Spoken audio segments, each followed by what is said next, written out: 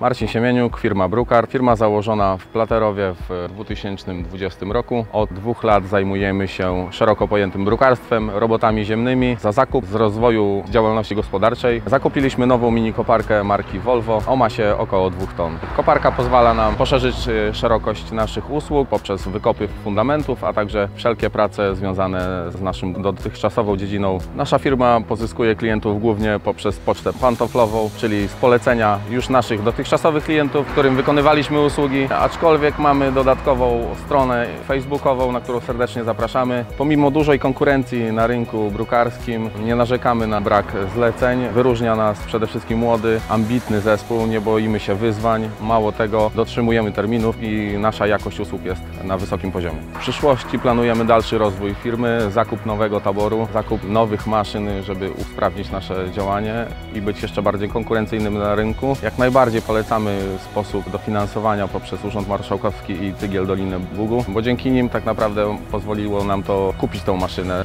Dzięki dotacji poszerzyliśmy zakres naszych usług poprzez wykopy fundamentów oraz wszelkie prace związane z maszyną, która stoi za mną, czyli mini koparką.